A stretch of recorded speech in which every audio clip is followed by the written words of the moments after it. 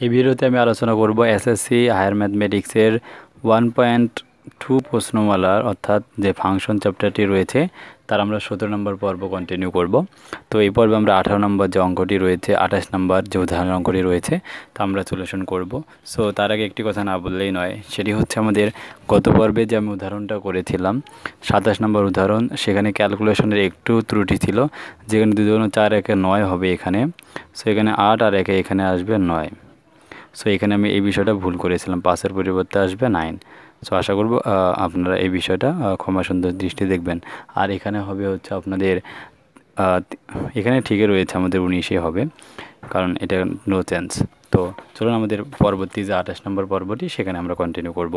So তো এখানে আমাদের বলা রয়েছে ফাংশনটার জন্য যে এফ অফ এক্স ফাংশনটা দেওয়া রয়েছে এম এক্স প্লাস সি ফাংশনের জন্য বলা রয়েছে টু এর প্রতিবিম্ব হচ্ছে নাইন এবং ফোর এর প্রতিবিম্ব হচ্ছে মাইনাস ওয়ান মানে এই ফাংশনটাতে আমরা যদি টু বসাই, তাহলে তার মান পাবো হচ্ছে সেভেন যদি ফাংশনটাতে আমরা মাইনাস ওয়ান বসাই, তাহলে ফাংশনটার মান পাবো মানে ফোর যদি বসাই, তাহলে পাবো হচ্ছে মাইনাস ওয়ান তো এখন এখান থেকে আমাদের তারা যে রেজাল্টটা বের করতে বলছে, সেটি হলো আমরা বোর্ড বইয়ের দেখতে পাচ্ছি যে এখানে তারা বলে দিছে এখান থেকে এম এবং সি এর মান নির্ণয় করতে হবে। এফের অধীনে ফাইভের প্রতিবিম্ব বের করতে হবে এবং ফাইভের অধীনে থ্রি এর প্রাক প্রতিবিম্ব আমাদের বের করতে হবে। সো আমাদের শুরুতে আমরা এখান থেকে এম এবং সি এর মানটা বের করতে চাই। সো এই ফাংশনটা থেকে আমরা এম এবং সি এর মান কীভাবে পাবো? সো আমরা সেই বিষয়টা আমরা এখান থেকে শুরুতেই সমাধান করব। বলব আমাদের ফাংশনটার জন্য দেয়া আছে।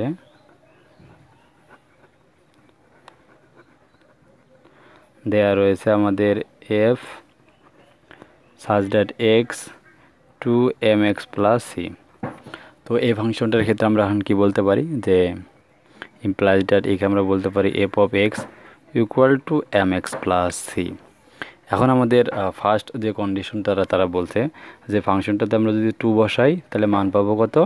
সেভেন আমরা সে পুরো ফাংশনটার মান পেয়ে যাব।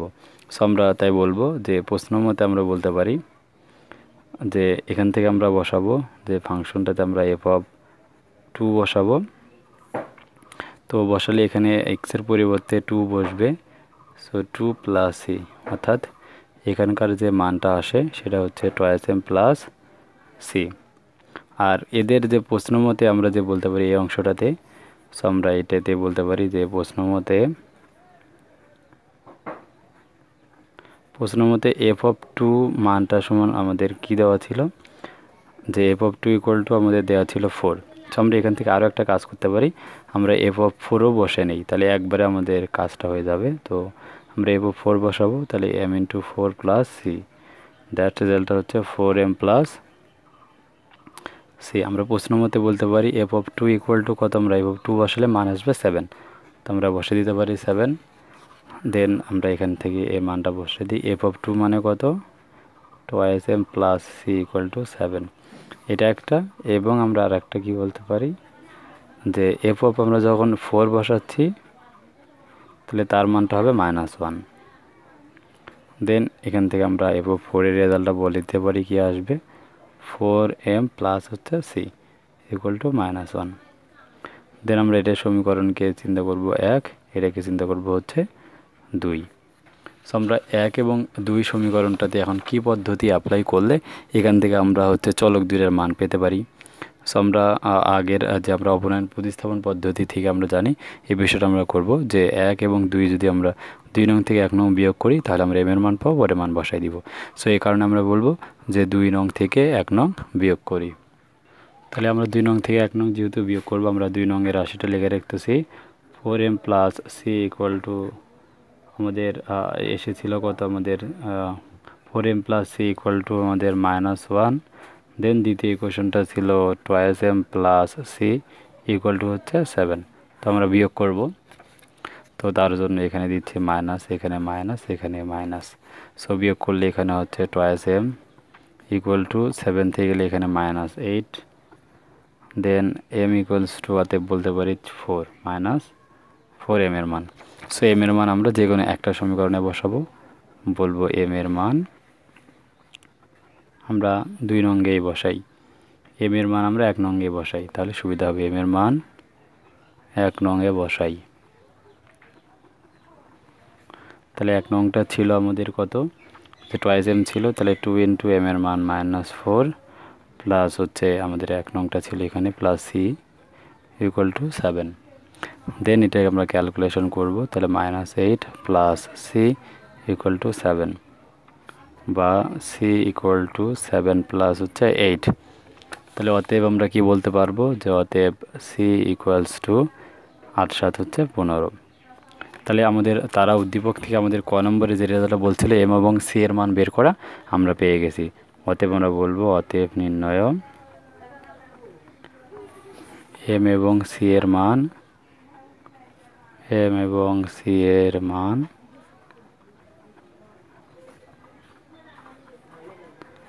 যথাক্রমে কত আমরা এম এর মান হচ্ছে মাইনাস ফোর এবং সি এর মান হচ্ছে ফিফটিন তাহলে আমাদের যে কয়ের যে অংশটুকু আমরা সেটা ইজিলি বের করতে পেরেছি এবার আমরা আসি দ্বিতীয় স্টেপটাতে দ্বিতীয় স্টেপ ছিল খ নম্বরের জন্য এফের অধীনে ফাইভের প্রতিবিম্ব বের করতে হবে।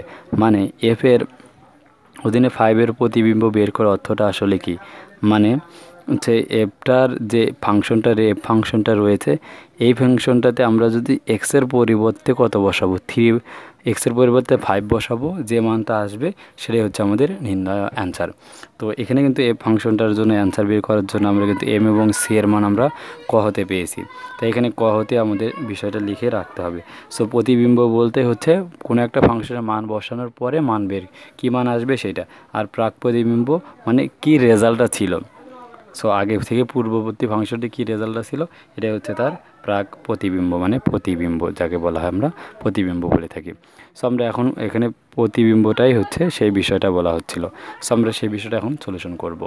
তাহলে আমরা বলব ক হতে প্রাপ্ত এম ও সি এর মান যথাক্রমে। আমরা সরাসরি মান দুটা বসাবো। এম এর মান মাইনাস ফোর এবং সি এর মান হচ্ছে পনেরো। এখন আমরা সরাসরি ইনপুট দিব। এপের অধীনে আমরা বলব যে ফাংশনটা ছিল, আমরা সেই দেওয়া আছে ফাংশনটা, আমরা প্রদত্ত ফাংশন বলব।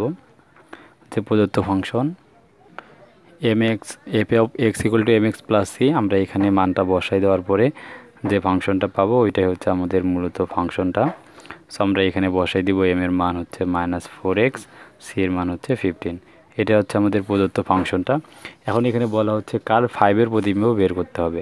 তা আমরা বলব, অতএব এফের অধীনে ফাইভের প্রতিবিম্ব। সো ফাইভের প্রতিবিম্ব করার জন্য আমরা এফ অফ এখানে বসাবো ফাইভ ইকুয়ালস টু তাহলে চলকটার পরিবর্তে আমাদের এখন মান বসাতে হবে। সো চলকটার পরিবর্তে এখানে মাইনাস এক্সের পরিবর্তে বসবে হচ্ছে five plus fifteen equals to minus twenty plus হচ্ছে ফিফটিন দেন রেজাল্ট হচ্ছে ফাইভ তাহলে আমাদের নির্ণয় যে প্রাক প্রতিবিম্ব রেজাল্ট আমরা পেয়ে গেছি, বলব অতএব নির্ণয় এফের অধীনে ফাইভের প্রতিবিম্ব মাইনাস ফাইভ সো এরপর আমরা পড়ব, গ নম্বর যে অংশটি ছিল সেটা সেখানে বলা হচ্ছে এফের অধীনে থ্রি এর প্রাক প্রতিবিম্ব। অর্থাৎ থ্রি এর প্রাক প্রতিবিম্বটা মানে কি? যে রেজাল্টটা কত ছিল, সেই রেজাল্টটা আমাদের বের করতে হবে। যেমন এখানে আমরা রেজাল্টটা বের করে নিয়ে আসছি, এটা হচ্ছে মাইনাস ফাইভ ফাংশনটার মান। তো এখানে প্রাক প্রতিবিম্ব বলতে যে আমাদের যে চলকটা রয়েছে এই চলকটার মানটা কত? চলকটার মানটা কত? এটাই হচ্ছে তার প্রাক প্রতিবিম্ব। সো এখানে আমাদের এফের থ্রি এর প্রাক প্রতিবিম্ব আমাদের একটা মান দেওয়া রয়েছে। থ্রি বসলে পরে তার প্রতিবিম্বটা কত আসবে? সেটা পুরো রেজাল্টটা দেওয়া রয়েছে থ্রি তাই আমরা যে ফাংশনটা আমরা বলতে পারি যে থ্রি এর প্রাক প্রতিবিম্ব এক্স হলে এক্স হলে আমরা আসলে কি বলতে পারব? যে পুরো ফাংশনটা যেটা রয়েছে f of x equal to three so আমরা এখানে অফ এক্স যে ফাংশনটা রয়েছে আমরা সেটা এখন বসাবো। তাহলে অফ এক্স ফাংশনটা আমাদের উদ্দীপকে কী ছিল? যে এম এক্স প্লাস সি তো মানে মান বসানোর পরে অফ এক্স আমরা পুরো ফাংশনটা রেজাল্ট পাচ্ছি হচ্ছে এইটা। মানে মাইনাস ফোর এক্স প্লাস হচ্ছে ফিফটিন ইকুয়াল টু থ্রি তখন এই অংশটা সলিউশন করে আমাদের এক্সের মান বের করতে হবে। তাহলে minus four x equal to three minus fifteen implies that minus four x equal হচ্ছে মাইনাস মাইনাস টি অ্যান্ড এখান থেকে এক্সের মান আসবে থার্টি থ্রি অর্থাৎ থ্রি সো আমরা পেয়ে গেছি যে এক্সের যে প্রতিবিম্ব হলে, যে প্রাক প্রতিবিম্ব অধীনে যে মানটা বের করতে হবে, সেটা আমরা হচ্ছে পেয়ে গেছি থ্রি অ্যাকুরেট হচ্ছে অ্যান্সার তো আমি আশা করব আপনারা আমাদের এই ভিডিওটির মাধ্যমে যে আট নম্বর যে আমাদের অঙ্কটা ছিল, আঠাশ নম্বর যে উদাহরণের অঙ্কটা ছিল, খুবই ইম্পর্টেন্ট আমাদের জন্য। সো আশা করি আপনারা সবাই বুঝতে পেরেছেন। যদি ভিডিওটি ভালো লেগে থাকে, অবশ্যই ভিডিওতে একটা লাইক কমেন্ট শেয়ার করবেন। এবং আপনাদের ভিডিওটি কেমন লাগল কমেন্ট করে জানাবেন। যদি অন্য কোনো চ্যাপ্টারের ভিডিও পেতে চান, তাহলে এই চ্যানেলের ডিসক্রিপশন বক্সে পরবর্তী ভিডিও লিঙ্কটি পাবেন এবং অন্যান্য চ্যাপ্টারের ভিডিও পেতে চাইলে আমাদের চ্যানেলের প্লেলিস্ট সেকশনে যাবেন, সেখান থেকে আপনার পছন্দ মতো ভিডিও আপনি দেখতে পারেন। আর যদি কোনো কোয়েশ্চেন আমাদের থাকে, তাহলে আমাদের ফেসবুক পেজে আপনার সমস্যাগুলো বলবেন, আমরা আপনাদের সমস্যাগুলো সলিউশন করে দিব। So thank you watching my video